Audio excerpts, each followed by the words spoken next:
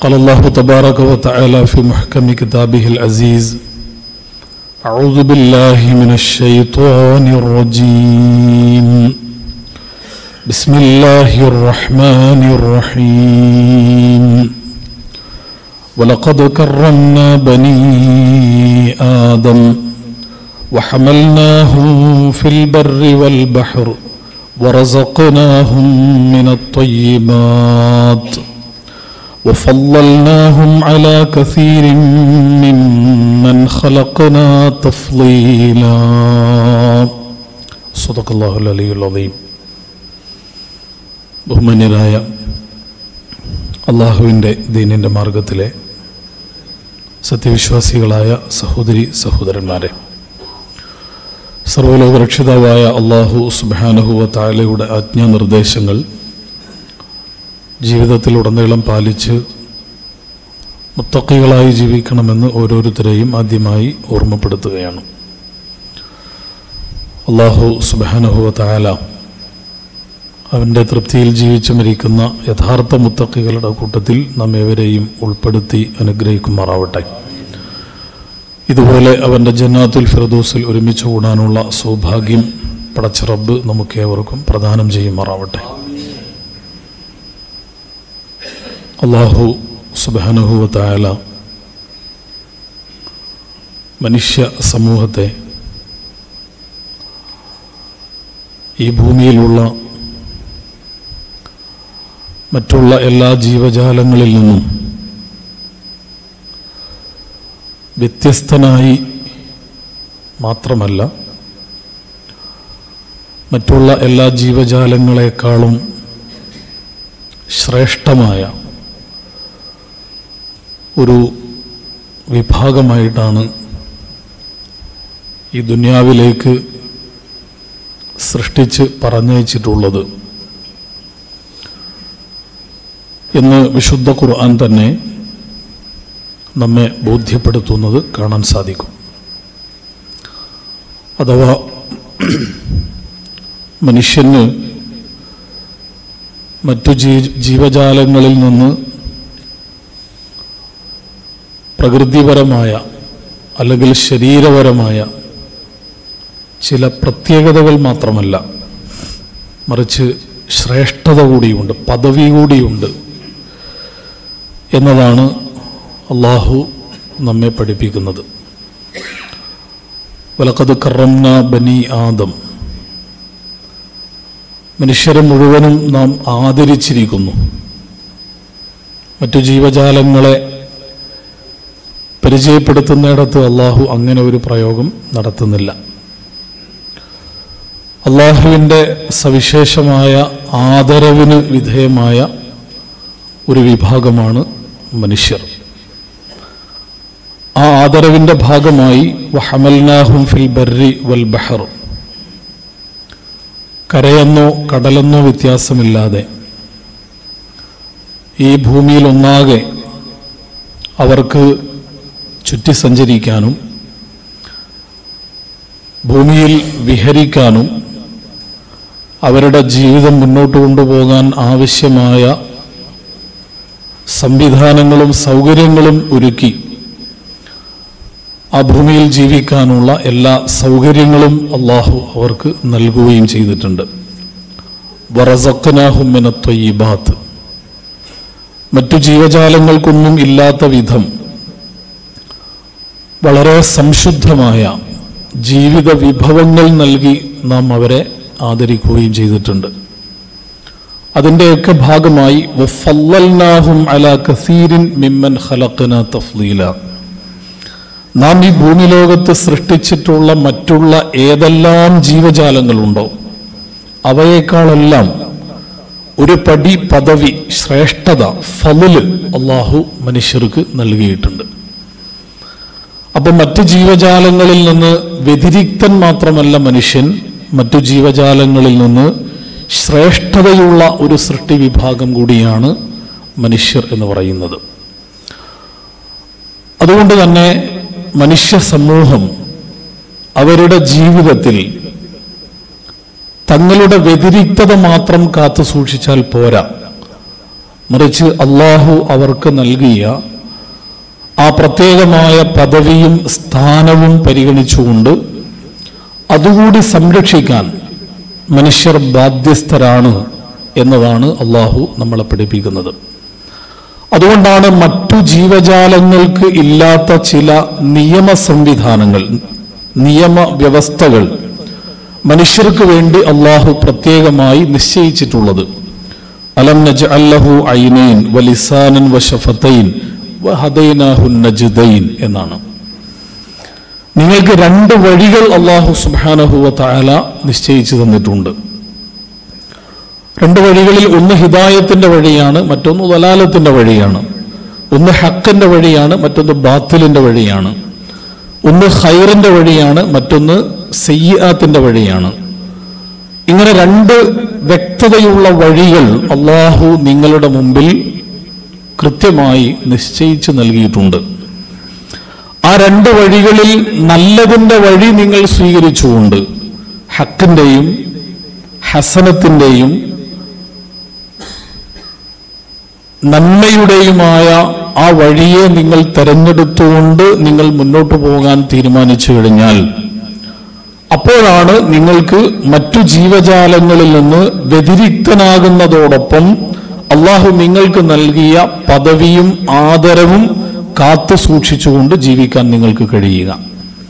നേരെ മറിച്ചാണെങ്കിൽ അഥവാ അള്ളാഹു നിങ്ങൾക്ക് നൽകിയ നിയമവ്യവസ്ഥകൾ നിങ്ങൾ ഒട്ടുമേ പരിഗണിക്കാതെ ഹിദായത്തിന്റെയും ഹക്കിന്റെയും ഹൈറിന്റെയും ഹസനത്തിന്റെയും ഒക്കെ വഴിയെ നിങ്ങൾ മാറ്റിവെച്ചുകൊണ്ട് നേർ എതിർദിശയിൽ നിങ്ങൾ സഞ്ചരിക്കാൻ വേണ്ടി തീരുമാനിച്ചു കഴിഞ്ഞാൽ പിന്നെ നിങ്ങളുടെ പദവി ലോകത്ത് മറ്റു ജീവജാലങ്ങളെക്കാൾ താഴെയുമായിരിക്കും. മറ്റു ജീവജാലങ്ങളെക്കാൾ താഴെയായിരിക്കും നിങ്ങളുടെ സ്ഥാനം പിന്നീട് ഉണ്ടാവുക അപ്പോൾ ആദരവ് എന്ന് പറയുന്നത് വ്യവസ്ഥക്ക് വിധേയമായി കൊണ്ടാണ് അള്ളാഹു നിശ്ചയിച്ചിട്ടുള്ളത്. ആ ആദരവിന് അള്ളാഹു നിശ്ചയിച്ച വ്യവസ്ഥകൾ മനുഷ്യർ പാലിക്കാതെ പോയി കഴിഞ്ഞാൽ പിന്നെ അവർ മറ്റു ജീവജാലങ്ങളെ പോലുമല്ല അതിനേക്കാൾ താഴെയായിരിക്കും എന്ന് വിശുദ്ധ ഖുർആൻ നമ്മളെ പഠിപ്പിക്കുന്നതും വളരെ കൃത്യമായിട്ട് കാണാൻ സാധിക്കും. ഉലായിക്കൽ അൻആമി ബൽ എന്നൊരു പ്രയോഗം ഖുർആാനിലുണ്ട്. അവർ നാൽക്കാലികളെ പോലെയാണ്. എന്നല്ല അതിനേക്കാൾ വലാലത്തിലാണ്. അതിന്റെയും താഴെയാണ് അവർ നാൽക്കാലികളെ പോലെയല്ല അതിനേക്കാൾ താഴെയാകുന്ന ഒരവസ്ഥയിലേക്കും മനുഷ്യൻ ചെന്നെത്തും എന്നുള്ളതാണ്. വലക്കത് ജഹന്നമ കസീറൻ മിനൽ ജിന്നി വൽ ഇൻസ്. നരകത്തിന്റെ ഇന്ധനം എന്ന് പറയുന്നത് അധികവും മനുഷ്യരും ജിന്നുകളുമാണ്. അതിന്റെ കാരണം ലഹും ബിഹാ. അവർക്ക് അള്ളാഹു ചിന്തിക്കാൻ ഹൃദയങ്ങൾ നൽകിയിരുന്നു. ആ ഹൃദയങ്ങൾ കൊണ്ടവർ യഥാർത്ഥത്തിൽ ചിന്തിക്കേണ്ടത് ചിന്തിക്കുമായിരുന്നില്ല. വലഹും അയുനുൻ ലാ യുബ്സിറൂന ബിഹാ. അവർക്ക് അള്ളാഹു കണ്ണുകൾ കാണാൻ നൽകിയിട്ടുണ്ടായിരുന്നു. പക്ഷേ ആ കണ്ണുകൾ കൊണ്ട് കാണേണ്ടത് യഥാർത്ഥത്തിൽ അവർ കാണുമായിരുന്നില്ല. വലഹും ആദാനുൻ ലാ യസ്മഊന ബിഹാ. അവർക്ക് കേൾക്കാൻ അള്ളാഹു ചെവികൾ നൽകിയിട്ടുണ്ടായിരുന്നു. പക്ഷേ ആ ചെവികൾ കൊണ്ട് കേൾക്കേണ്ടത് അവർ കേൾക്കുമായിരുന്നില്ല.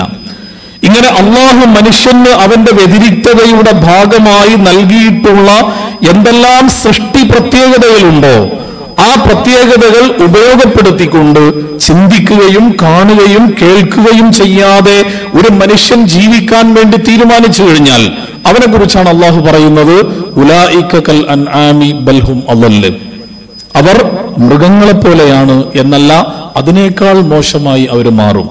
മൃഗങ്ങൾക്കൊരു സ്റ്റാൻഡേർഡ് ഉണ്ടാവും. ആ സ്റ്റാൻഡേർഡിന്റെയും താഴേക്ക് അവർ കൂപ്പുകുത്തിപ്പോകുമെന്നാണ് പടച്ചതമ്പുരാൻ നമ്മെ ഓർമ്മപ്പെടുത്തുന്നത്. അപ്പൊ ഞാൻ പറഞ്ഞത് മനുഷ്യന് അള്ളാഹു നൽകിയ ആദരവ് കീപ്പ് ചെയ്യുക.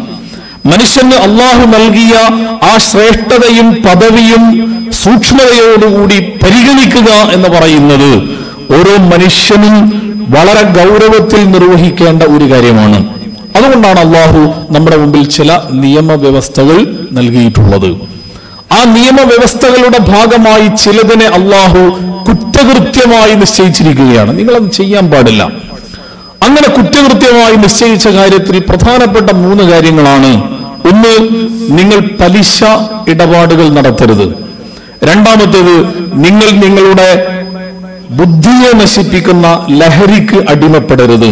മൂന്നാമത്തേത് നിങ്ങളുടെ സദാചാര ലൈംഗിക ബോധ്യങ്ങളെ നശിപ്പിക്കുന്ന വിധത്തിലുള്ള വൃത്തികേടുകളിൽ നിങ്ങൾ ഏർപ്പെടരുത്. ഈ മൂന്ന് കാര്യങ്ങൾ. ഈ മൂന്ന് കാര്യങ്ങൾ വിശുദ്ധ ഖുർആാനും ഹദീസുകളും ഒക്കെ പഠിപ്പിക്കുമ്പോൾ അതിന്റെ ഒരു തലത്തിലേക്കും നിങ്ങൾ പോകാൻ പാടില്ല എന്നുള്ളതാണ്. മറ്റു തിന്മകളെ കുറിച്ച് പറയുമ്പോൾ ആ തിന്മകൾ സ്പെസിഫിക് ആയി പറയുന്ന പ്രയോഗങ്ങളാണ് കാണാൻ സാധിക്കുക. പക്ഷേ ഈ മൂന്ന് തിന്മകളെ കുറിച്ച് പറയുമ്പോൾ അതിന്റെ ഒരു വശത്തേക്കും നിങ്ങൾ ചാഞ്ഞു പോകരുത്. അതിന്റെ ഒരു ഭാഗത്തേക്കും നിങ്ങളുടെ കണ്ണ് പോകരുത്. അതിന്റെ ഒരു ഭാഗത്തേക്കും നിങ്ങളുടെ ചിന്തകൾ കടന്നു പോകരുത് അതിന്റെ ഒരു ഭാഗത്തേക്കും നിങ്ങളുടെ മനോഭാവങ്ങൾ പോകാൻ പാടില്ല എന്ന് വളരെ കണിശമായി വളരെ സൂക്ഷ്മതയോടുകൂടി അള്ളാഹു സുബാനഹുല ഈ മൂന്ന് തിന്മകളെ കുറിച്ച് പറയുമ്പോൾ പറയുന്നത് കാണാൻ സാധിക്കും. കാരണം എന്താന്ന് ചോദിച്ചു കഴിഞ്ഞാൽ ഈ മൂന്ന് കാര്യങ്ങൾ മനുഷ്യന് അള്ളാഹു നൽകിയ പദവി മനുഷ്യന് അള്ളാഹു നൽകിയ ആദരവ് ആ ആദരവിനെ നശിപ്പിക്കുവാൻ കാരണമാകുന്ന പ്രധാനപ്പെട്ട മൂന്ന് ഘടകങ്ങളാണ് ഇത് എന്നുള്ളതാണ്.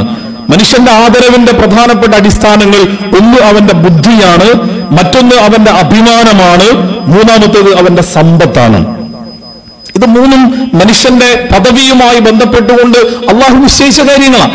ഈ മൂന്നെണ്ണവും നിങ്ങൾ സൂക്ഷ്മതയോടുകൂടി കൈകാര്യം ചെയ്തിട്ടില്ല എങ്കിൽ നിങ്ങളുടെ അഭിമാനം നഷ്ടപ്പെടും നിങ്ങളുടെ ബുദ്ധിശൂന്യത നിങ്ങളെ അപകടപ്പെടുത്തും നിങ്ങളെ സാമ്പത്തികമായി ഒന്നിനും കൊള്ളാത്ത ഒരു ജനവിഭാഗമാക്കി അള്ളാഹു നിങ്ങളെ മാറ്റും എന്നുള്ളതാണ്. അതുകൊണ്ട് പലിശയെ കുറിച്ച് പറയുമ്പോൾ അള്ളാഹു സുബാന നബിസല്ലാഹു അലഹി വസ്ലം നമ്മളെ പഠിപ്പിക്കുന്നുണ്ട്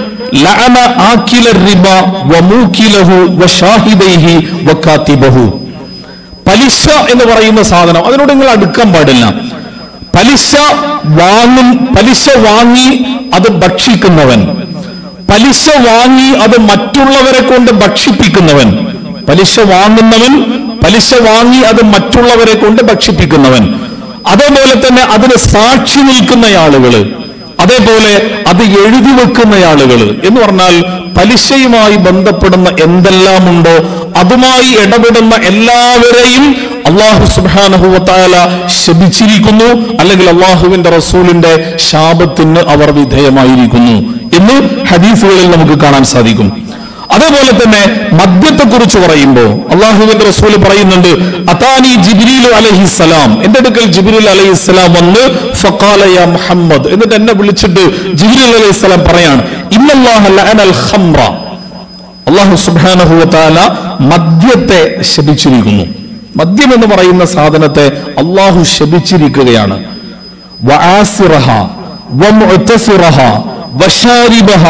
വഹാമിലഹ والمحمولة إليه وبائعها ومبتعاها وساقيها ومستقاها എല്ലാം വിട്ടു മദ്യം ഉണ്ടാക്കുന്നവൻ മദ്യം ഉണ്ടാക്കാൻ സഹായിക്കുന്നവൻ മദ്യം വിളമ്പിക്കൊടുക്കുന്നവൻ മദ്യം പിന്നെ കുടിക്കുന്നവൻ മദ്യം കുടിപ്പിക്കുന്നവൻ അത് വിൽക്കുന്നവൻ അത് വാങ്ങുന്നവൻ ഇങ്ങനെ എല്ലാം ഉൾപ്പെടുത്തിക്കൊണ്ട് അതുമായി ബന്ധപ്പെട്ടുകൊണ്ട് എന്തല്ല മദ്യം എന്ന് പറയുമ്പോ പിന്നെ മദ്യം എന്ന് പറയുന്നത് മനുഷ്യന്റെ ബുദ്ധിയെ നശിപ്പിക്കുന്ന എന്തൊക്കെ ഉണ്ട് അതൊക്കെ വിൽപ്പെടും എന്ന് പറഞ്ഞാൽ ലഹരി പദാർത്ഥങ്ങൾ എന്ന് പറഞ്ഞ് നമ്മൾ എന്തെല്ലാം കാര്യങ്ങൾ നമ്മുടെ സമൂഹത്തിലുണ്ടോ അതൊക്കെ അതിൽപ്പെടും ഇതുമായി ബന്ധപ്പെട്ട എന്തെല്ലാം ഇടപാടുകളാണോ നിങ്ങൾ നടത്തുന്നത് അവരൊക്കെ അള്ളാഹുവിന്റെ ശാപത്തിന് വിധേയമാണ്. എന്നാണ് അതിനെക്കുറിച്ച് അള്ളാഹുവിന്റെ റസൂൽ പറയുന്നത്. മനുഷ്യനും അവന്റെ സദാചാര ബോധത്തിൽ നിന്ന് അവനെ തകർക്കുന്ന അവനെ നശിപ്പിക്കുന്ന ലൈംഗികതയുമായി ബന്ധപ്പെട്ടുകൊണ്ടുള്ള ഇസ്ലാമിന്റെ നിലപാട് പഠിപ്പിക്കുമ്പോൾ റസൂലുള്ളാഹി സ്വല്ലല്ലാഹു അലൈഹി വസല്ലം പറയുന്നുണ്ട് അന്ന നബിയ സ്വല്ലല്ലാഹു അലൈഹി വസല്ലം കാൽ കുതിബ അല ഇബ്നി ആദമ നസീബുഹു മിന സിന മുദ്രികു ദാലിക ലാ മുഹാലത്ത് ഒരാൾ വ്യഭിചാരിയായി മാറും. ഒരാൾ അവന്റെ സദാചാര ധാർമ്മിക ബോധ്യങ്ങളെ നശിപ്പിക്കുന്ന ലൈംഗിക വൈകൃതങ്ങളിൽ ലൈംഗികതയിൽ ഏർപ്പെടുന്ന സിന എന്ന കാറ്റഗറിയിൽ പെടുന്നവനായി അവന് മാറും. എപ്പോ? അൽ ഐനാനി സിനാഹുമ അന്നവർ. ഒരാളുടെ രണ്ട് കണ്ണുകൾ കൊണ്ടുള്ള നോട്ടം അത് സിനയാണ്. എന്നാൽ നോക്കാൻ പാടില്ലാത്തത് ഒരാൾ നോക്കുക. നോക്കാൻ പാടില്ലാത്ത ഒന്ന് നോക്കുക എന്ന് പറയുന്നത് കണ്ണിന്റെ സിനയാണ്. വൽ ഉദ്നാനി സിനാഹുമ അൽ ഇസ്തിമാ ഒരാളുടെ ചെവിയുമായി ബന്ധപ്പെട്ടുകൊണ്ടുള്ള സിന എന്ന് പറയുന്നത് ആ ചെവികൾ കൊണ്ട് കേൾക്കാൻ പാടില്ലാത്ത ലൈംഗിക ചുവയുള്ള സംസാരങ്ങളും വർത്തമാനങ്ങളും സംഭാഷണങ്ങളും അങ്ങനെ എന്തെല്ലാം ഉണ്ടോ? അതെല്ലാം അവന്റെ ചെവികൾ കൊണ്ട് കേൾക്കുക എന്ന് പറയുന്നത് കേൾവിയുടെ സിനയാണ്. വല്ലിസാനു സിനാഹു അൽ കലാം. ഒരാളുടെ നാവ് കൊണ്ടുള്ള സിന എന്ന് പറയുന്നത് അത്തരം വർത്തമാനങ്ങൾ പറയുക എന്നുള്ളതാണ്. ലൈംഗിക ചുവയുള്ള ദ്വയാർത്ഥ പ്രയോഗങ്ങളായ അശ്ലീലത കലർന്ന വർത്തമാനങ്ങൾ പറഞ്ഞുകൊണ്ടിരിക്കുക എന്ന് പറയുന്നത് നാവുകൊണ്ട് അവൻ ചെയ്യുന്ന സിനയാണ്. കൈകൊണ്ട് ചെയ്യുന്ന സിന എന്ന് പറഞ്ഞു കഴിഞ്ഞാൽ പിടിക്കാൻ പാടില്ലാത്തത് പോയി പിടിക്കാം തൊടാൻ പാടില്ലാത്തയിടത്ത് പോയി തൊടുക എന്ന് പറയുന്നത് കൈകൾ കൊണ്ട് ചെയ്യുന്ന സിനയാണ്. കാലുകൊണ്ട് ചെയ്യുന്ന സിന എന്ന് പറയുന്നത് പോകാൻ പാടില്ലാത്തയിടത്ത് നിങ്ങൾ പോവാം. പോകാൻ പാടില്ലാത്ത സ്ഥലത്തേക്ക് നിങ്ങൾ നിങ്ങളുടെ കാലുകൾ കൊണ്ട് നടന്നു പോകുമ്പോ അത് നിങ്ങളുടെ കാലുകൾ കൊണ്ട് ചെയ്യുന്ന സിനയാണ്. വൽ ഫർജു ഔ ഒരാളുടെ ഹൃദയം ആഗ്രഹിക്കുകയും താല്പര്യപ്പെടുകയും ഒക്കെ ചെയ്യും. ആ ആഗ്രഹം സാക്ഷാത്കരിക്കുന്നത് അവന്റെ ലൈംഗിക അവയവമായിരിക്കും. എന്നിട്ട് അങ്ങനെ ഒരാൾ കൽബ് എന്താണോ ആഗ്രഹിക്കുന്നത് അതനുസരിച്ചുകൊണ്ട് അത് ചെയ്യാൻ വേണ്ടി തീരുമാനിച്ചു കഴിഞ്ഞാൽ അതാണ് അവനെ വ്യഭിചാരത്തിലേക്ക് വേണ്ടാധീനത്തിലേക്ക് നയിക്കുക എന്ന് പറയുന്നത് കാണാൻ സാധിക്കും. അപ്പൊ ഈ മൂന്ന് കാര്യങ്ങൾ ഈ മൂന്ന് തിന്മകൾ ഇസ്ലാം വളരെ കണിശമായി നിങ്ങൾ വ്യഭിചാരത്തോട് അടുത്തു പോകാൻ പാടില്ല എന്നാണ്. അതിന്റെ അടുത്തേക്ക് പോകരുത്. നിങ്ങൾ ചെയ്യരുത് എന്നല്ല. നിങ്ങൾ വ്യഭിചരിക്കരുത് എന്നല്ല വ്യഭിചാരത്തിന്റെ അടുത്തേക്ക് നിങ്ങൾ പോകരുത്. അങ്ങനെയാണ് എന്ന് പറയാൻ പറ്റുന്ന ഒന്നും നിങ്ങളുടെ ജീവിതത്തിൽ ഉണ്ടാകാതിരിക്കണം എന്നത് വളരെ ഗൗരവത്തിൽ അള്ളാഹു സുബാനഹുവത്തായ വിശുദ്ധ ഖുർആാനിലൂടെയും നമ്മളെ പഠിപ്പിക്കുകയാണ്. അപ്പൊ ഇങ്ങനെ മൂന്ന് തിന്മകളെ ഇസ്ലാം വളരെ കണിശമായും കൈകാര്യം ചെയ്യുമ്പോൾ ഇത് ഒരു ബദലില്ലാത്ത എന്ന് പറഞ്ഞാൽ മൂന്ന് തിന്മകളുടെ വാതിലുകൾ ഇസ്ലാം കൊട്ടിയടക്കുമ്പോ മനുഷ്യന്റെ പ്രകൃതിപരമായ യാഥാർത്ഥ്യത്തെ ഇസ്ലാം പരിഗണിക്കാതെ ചെയ്യുന്ന ഒരു അബദ്ധമല്ല ഇത്. ഒരു ഇത്. മറിച്ച് ഒരാളെ സംബന്ധിച്ചിടത്തോളം പലിശ എന്ന് പറയുന്നത് അള്ളാഹു ഹറാമാക്കുമ്പോ പലിശയില്ലാത്ത സാമ്പത്തികമായ വ്യവഹാരങ്ങൾ ഇസ്ലാം വളരെ ഗൗരവത്തിൽ പ്രോത്സാഹിപ്പിക്കുകയാണ് ചെയ്യുക. പലിശയില്ലാത്ത സാമ്പത്തിക ഇടപാടുകൾ നിങ്ങൾക്ക് ചെയ്യാൻ അനുവദിക്കുകയല്ല. നിങ്ങൾ ചെയ്യണമെന്ന് ഇസ്ലാം നമ്മളെ നിർബന്ധിക്കുകയും അതിന് പ്രോത്സാഹിപ്പിക്കുകയുമാണ് ചെയ്യുക. എന്ന് പറഞ്ഞാൽ ബദലില്ലാത്ത ഒരു കൊട്ടിയടക്കലല്ല ഇസ്ലാം നടത്തുന്നത്. ബദലുകൾ ഇസ്ലാം കൃത്യമായി നിർണയിച്ചുകൊണ്ടാണ് ചില വാതിലുകൾ ഇസ്ലാം അടച്ചു വെക്കുന്നത് എന്നുള്ളതാണ്. ഒരു ബദലുകളുമില്ലാതെ എല്ലാ വാതിലുകളും കൊട്ടിയടക്കുക എന്നത് ഇസ്ലാമിലില്ല. അതുകൊണ്ട് നിങ്ങൾ പലിശ വാങ്ങരുത് കൊടുക്കരുത് അതിന്റെ ഇടപാടുകൾ നടത്തരുത് എന്ന് പറയുമ്പോൾ അത് സാമ്പത്തിക ലാഭത്തിന് വേണ്ടി ചെയ്യുന്ന ഒരു ഏർപ്പാടാണല്ലോ എന്നാൽ സാമ്പത്തിക ലാഭത്തിന് വേണ്ടി നിങ്ങൾക്ക് ഒരുപാട് വഴികൾ അള്ളാഹു നിങ്ങളുടെ മുമ്പിൽ തുറന്നു വെച്ചിട്ടുണ്ട്. ആ വഴികളിലൂടെ നിങ്ങൾക്ക് ഇഷ്ടം പോലെ പോകാം മുന്നോട്ട് പോകാം. ഇതാണ്. മദ്യം നിങ്ങൾ ലഹരി പദാർത്ഥങ്ങൾ ഉപയോഗിക്കരുത് എന്ന് പറയുമ്പോൾ മനുഷ്യന്റെ മാനസിക സുഖമാണല്ലോ പരിഗണന. മനുഷ്യന്റെ മാനസിക സുഖത്തെ ഇസ്ലാം ഒട്ടുമേ അവഗണിച്ചുകൊണ്ട് ആ മാനസിക സുഖത്തിന്റെ എല്ലാ വാതിലുകളും അടച്ചിട്ടുകൊണ്ട് മദ്യം നിരോധിക്കുകയോ ലഹരി പദാർത്ഥങ്ങൾ ഉപയോഗിക്കാൻ പാടില്ല എന്ന് ഇസ്ലാം പഠിപ്പിക്കല്ല മറിച്ച് നിങ്ങളുടെ മാനസിക ഉല്ലാസത്തിന് നിങ്ങളുടെ മനസ്സിന് സംതൃപ്തി നൽകുന്ന നിങ്ങളുടെ മനസ്സിന് ആശ്വാസം നൽകുന്ന ഒരുപാട് വാതിലുകൾ ഇപ്പുറത്ത് അള്ളാഹു നിങ്ങളുടെ മുമ്പിൽ തുറന്നു വെക്കുകയാണ്. എന്ന് പറഞ്ഞാൽ മദ്യപാനത്തിലൂടെയും ലഹരി പദാർത്ഥങ്ങൾ നിങ്ങൾ ഉപയോഗിച്ചുകൊണ്ടും എന്തെല്ലാമാണോ നിങ്ങൾ ആഗ്രഹിക്കുന്നത്? അതിന്റെ ഏറ്റവും മനോഹരമായ ഒരു തലത്തിലേക്ക് നിങ്ങൾക്ക് അതല്ലാതെ തന്നെ പോകാൻ കഴിയും എന്ന് ഇസ്ലാം നമ്മളെ പഠിപ്പിക്കുന്നുണ്ട്. ഖൽബ് എന്ന് പറയുന്നത് എന്ന് പറയുന്നത്. എന്നൊക്കെ പറയുന്നത് ഇസ്ലാം ഒരുപാട് വഴികൾ.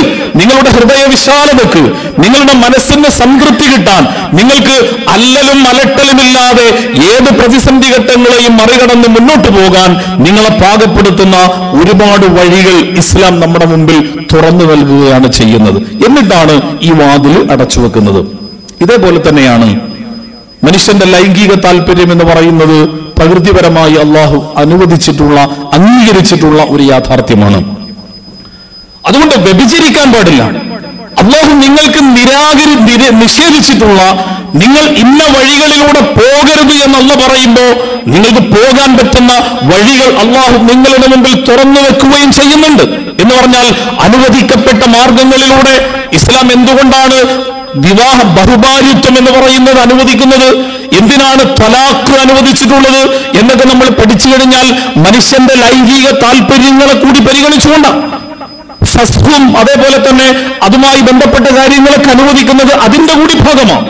എന്ന് പറഞ്ഞാൽ ലൈംഗികമായ മനുഷ്യന്റെ താല്പര്യങ്ങളുടെ എല്ലാ വാതിലുകളും ഈ ദുന്യാവിൽ കൊട്ടിയടച്ചുകൊണ്ട് നിങ്ങൾ ആ വഴിക്ക് പോകാൻ പാടില്ല എന്നല്ല ഇസ്ലാം പറയുന്നത്. മറിച്ച് അവിടെയും ചില വഴികൾ അള്ളാഹു നമുക്ക് നിശ്ചയിച്ചു തന്നിട്ടുണ്ട്.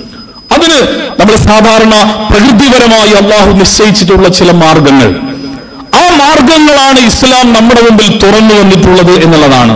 ആ മാർഗങ്ങളെ നിരാകരിച്ചുകൊണ്ട് മറ്റുള്ള വഴികളിലൂടെ വഴികളിലൂടെ ഒരാൾ സഞ്ചരിക്കാൻ വേണ്ടി തീരുമാനിക്കുമ്പോഴാണ് അവൻ യഥാർത്ഥത്തിൽ അള്ളാഹുവിന്റെ ദീനിന്റെ മാർഗത്തിൽ നിന്ന് വ്യതിചലിച്ചു പോകുന്ന അവസ്ഥയിലേക്ക് ഒരാൾ പോവുക ഇപ്പൊ നമ്മൾ ജീവിക്കുന്ന ഈ കാലഘട്ടത്തിൽ ഹോമോസെക്ഷുവാലിറ്റി എന്ന് പറയുന്ന ഒരു വലിയ തോതിലുള്ള വർത്തമാനങ്ങൾ നാം ജീവിക്കുന്ന ഈ കാലഘട്ടത്തിൽ വളരെ ശക്തമായി പ്രചരിക്കപ്പെട്ടുകൊണ്ടിരിക്കുകയാണ്. പ്രചരിക്കപ്പെടുക മാത്രമല്ല അതിന് വല്ലാത്ത ഒരു നോർമലൈസേഷൻ വല്ലാത്ത ഒരു സാധാരണത്വത്തിലേക്ക് അതിനെ കൊണ്ടുവരാനുള്ള ബോധപൂർവമായ ശ്രമങ്ങൾ പല വിധങ്ങളിലും നടന്നുകൊണ്ടിരിക്കുകയാണ്.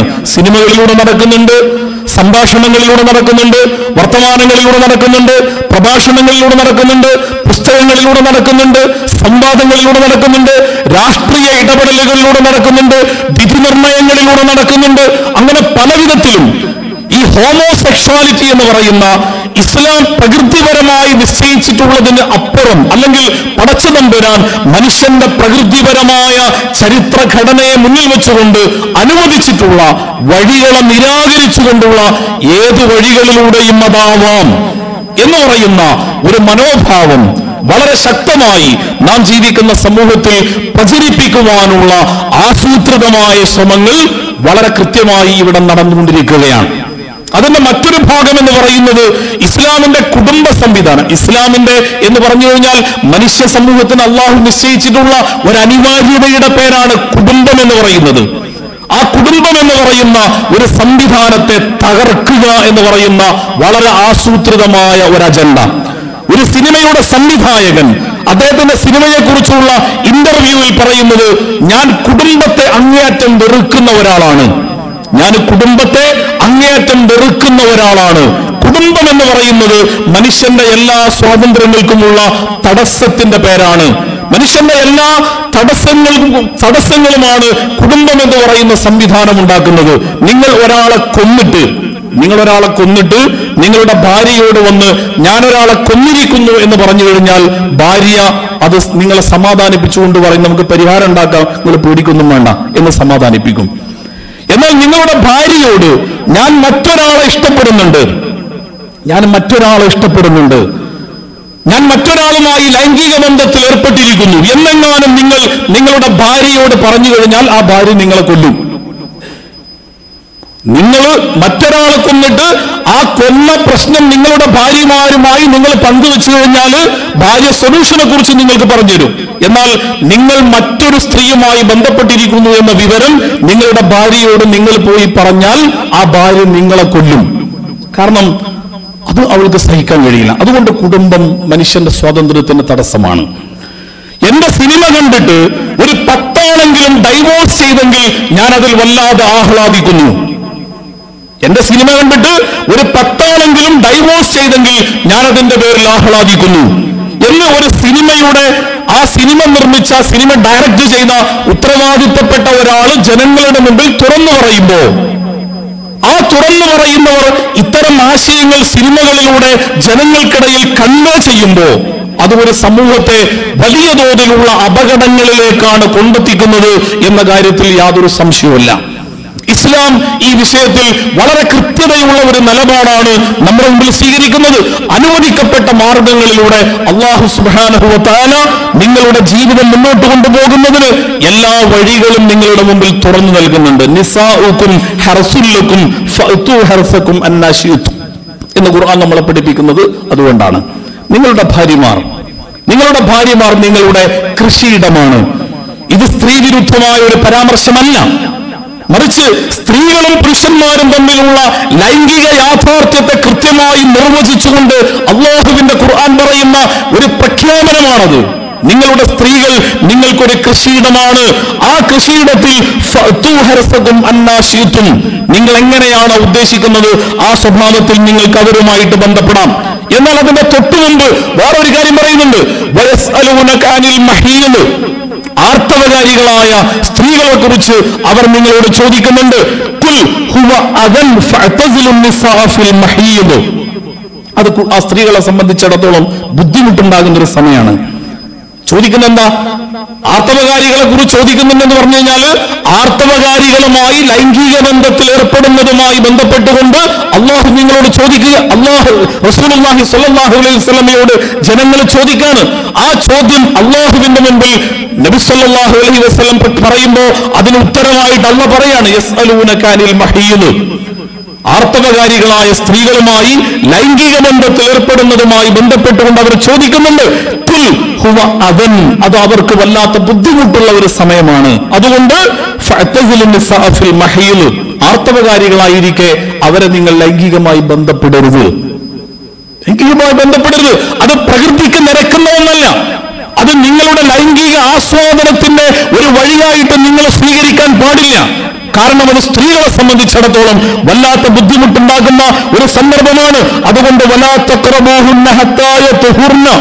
അവർ ശുദ്ധിയാകുവോളം. എന്ന് പറഞ്ഞാൽ ആർത്തവ വിരാമം ഉണ്ടാകുവോളം. അവരുമായി നിങ്ങൾ ലൈംഗികമായി ഒരു നിലക്കും ബന്ധപ്പെടാൻ പാടില്ല. എന്നാൽ അവർ ശുദ്ധിയായാലോ? അള്ളാഹു നിങ്ങളോട് കൽപ്പിക്കുന്നത് പ്രകാരം അവരുമായിട്ട് നിങ്ങൾക്ക് ബന്ധപ്പെടാം.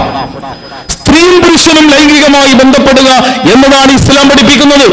അത് പ്രകൃതിപരമായി മനുഷ്യ സമൂഹത്തിൽ മനുഷ്യ സമൂഹത്തിൽ എന്നല്ല എല്ലാ ജീവജാലങ്ങളുടെയും പ്രകൃതത്തിൽ അള്ളാഹു നിശ്ചയിച്ചിട്ടുള്ളത് അങ്ങനെയാണ് അങ്ങനെയല്ല.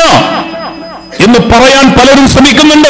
അങ്ങനെയല്ല എന്ന് സ്ഥാപിക്കുവാൻ പലരും ശ്രമിക്കുന്നുണ്ട് എന്ന് പറഞ്ഞാൽ മനുഷ്യന്റെ ഹെട്രോ നോർമാലിറ്റി എന്ന് പറയുന്ന ആ അവസ്ഥയല്ല.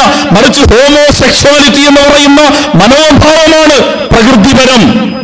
ആർക്കാരുമായിട്ടും ലൈംഗികമായി ബന്ധപ്പെടാം. ആണാണുമായി പെണ്ണ് പെണ്ണുമായി ആണും പെണ്ണും എന്നാണെങ്കിൽ അങ്ങനെ. ഇനി ആണും പെണ്ണുമല്ല വേറെ മനുഷ്യരല്ലാത്ത മറ്റുള്ളവരുമായിട്ട് അങ്ങനെ. ജീവനില്ലാത്ത ശവങ്ങളുമായിട്ടാണെങ്കിൽ അങ്ങനെ. ഏത് ചെറിയ കുട്ടികളോടാണെങ്കിൽ അവരുമായി ആരുമായിട്ടുമാവാം എന്തുമാവാം?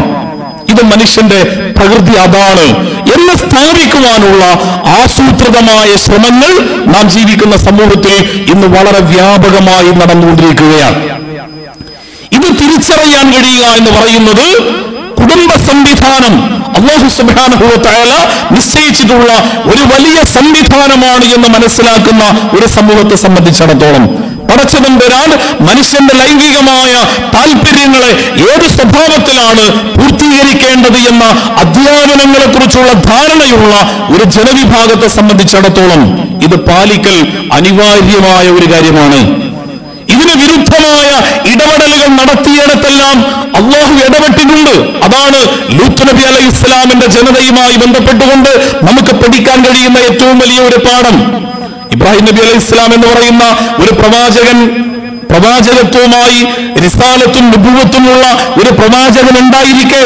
സദൂം എന്ന് പറയുന്ന ഒരു പ്രത്യേക ജനവിഭാഗത്തിലേക്ക് ലൂത്ത് നബി അലൈഹി ഇസ്ലാം എന്ന് പറയുന്ന ഒരു പ്രത്യേക പ്രവാചകനെ എന്തിനാണ് നിശ്ചയിച്ചത് എന്ന് ചോദിച്ചു കഴിഞ്ഞാൽ അള്ളാഹു സുബാനഹുല ഒരു ജനതയുടെ പ്രകൃതിപരമായി പടച്ചതും വരാൻ നിശ്ചയിച്ചിട്ടുള്ള ഈ ലൈംഗിക വൈകാരിക പൂർത്തീകരണത്തിന്റെ മാർഗങ്ങളെ മാറ്റിവെച്ചുകൊണ്ട് ഹോമോസെക്ഷുവാലിറ്റി എന്ന് പറയുന്ന അപകടകരമായ പ്രകൃതി വിരുദ്ധമായ മനുഷ്യത്വത്തിനൊട്ടുമേ നിരക്കാത്ത ജീവജാലങ്ങളുടെ പ്രകൃതത്തിന് നിരക്കാത്ത ആ ഒരവസ്ഥയിലൂടെ അവർ മുന്നോട്ട് പോകാൻ വേണ്ടി തീരുമാനിച്ചപ്പോഴാണ് ആലമീൻ. ഇന്നേ വരെ ലോകത്തൊരു മനുഷ്യനും ഈ തോന്നിവാസം ചെയ്തിട്ടില്ല നിങ്ങളല്ലാതെ. കുറെ കാലം കഴിഞ്ഞല്ലോ മനുഷ്യന്റെ സൃഷ്ടിപ്പ് മുതൽ എണ്ണായിരം വർഷങ്ങളുടെ പഴക്കമുണ്ട് ലൂത്ത് നബി അലൈഹി ഇസ്ലാമിലേക്ക് വരുമ്പോ ചുരുങ്ങിയത് ആ കാലഘട്ടത്തിലൊന്നും ഈ ലോകത്ത് സംഭവിച്ചിട്ടില്ലാത്ത ഒരു തോന്നിവാസമാണ് നിങ്ങൾ ഇവിടെ ചെയ്യാൻ വേണ്ടി പോകുന്നത്. അലൈസമിൻകും റജുലുൻ റഷീദ് എന്ന് ഖുർആൻ പറയുന്നതും ഇവിടെയാ. അലൈസമിൻകും റജുലുൻ റഷീദ്. നിങ്ങളുടെ കൂട്ടത്തിൽ ഈ തോന്നിവാസത്തെ ചോദ്യം ചെയ്യാൻ ആൺ പറന്ന നിങ്ങൾ ചെയ്യുന്ന ഈ അപകടത്തിൽ നിന്ന് ഈ ജനവിഭാഗത്തെ മോചിപ്പിക്കുവാൻ ഒരൊറ്റൊരുത്തരുമില്ലേ എന്ന് അള്ളാഹു ചോദിക്കുന്നതും ഈ സന്ദർഭത്തിലാണ് കാരണം അത്രമാത്രം വലിയ ഒരു മനുഷ്യന്റെ ജീവിതത്തിൽ ചെയ്യുന്ന തിന്മക്ക് എന്തെല്ലാം പ്രയോഗങ്ങൾ നടത്താൻ പറ്റുമോ ആ പ്രയോഗങ്ങളെല്ലാം വെച്ചുകൊണ്ടാണ് അവർ ചെയ്ത ഈ തോന്നിവാസത്തെ ഖുർആൻ കൈകാര്യം ചെയ്യുന്നത്. വലിയ ഫാഹിഷാത്താണത്. ഫാഹിഷത്ത് നിങ്ങൾക്ക്. നിങ്ങളിലുള്ള സ്ത്രീകളെ മാറ്റി വെച്ചുകൊണ്ട് നിങ്ങൾക്കിടയിലുള്ള പുരുഷന്മാരെ തന്നെ നിങ്ങൾ ലൈംഗികമായി ഉപയോഗപ്പെടുത്തുന്ന ഈ ഫാഹിഷത്ത് നിങ്ങൾ ചെയ്യാൻ പാടില്ല. ആ ജനവിഭാഗത്തെ അള്ളാഹു കീഴ്മേൽ മറിച്ച് നശിപ്പിച്ചു കളഞ്ഞു. ആ ജനവിഭാഗത്തിന്റെ മേൽ ചുട്ടുപൊള്ളുന്ന കൽമഴ വർഷിച്ചുകൊണ്ട് ആ ജനവിഭാഗത്തെ അള്ളാഹു തകർത്തു കളഞ്ഞു. ഈ തിന്മയുടെ പേരിൽ.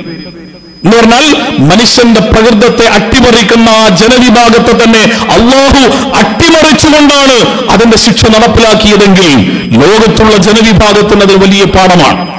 ആയിരത്തി തൊള്ളായിരത്തി എഴുപത് മുതൽ ലോകത്ത് പുതിയ ഈ മനോഭാവം വളരെ ശക്തമായി പ്രചരിപ്പിച്ചുകൊണ്ട് മനുഷ്യന്റെ ജീവിതത്തിൽ തന്നെ തകർക്കുന്ന മനുഷ്യന്റെ ജീവിതത്തിന്റെ സംവിധാനങ്ങളെ തകർക്കുന്ന മനുഷ്യന്റെ മുന്നോട്ട് പോക്കിന് വലിയ അപകടമുണ്ടാക്കുന്ന ഈ മനോഭാവം നമ്മുടെ നാട്ടിലും ആസൂത്രിതമായി പ്രചരിപ്പിക്കുവാനുള്ള പല ശ്രമങ്ങളും നടന്നുകൊണ്ടിരിക്കുന്നുണ്ട് എന്ന ധാരണയും ബോധ്യവും മുസ്ലിം ഉമ്മത്ത് എന്ന നിലയ്ക്ക് നമുക്കുണ്ടാവണം എന്ന് കൂടിയാണ് ഈ സന്ദർഭത്തിൽ സൂചിപ്പിക്കുന്നത്. അള്ളാഹു സുബാനവ് താല നമ്മെ അനുഗ്രഹിക്കുമാറാവട്ടെ.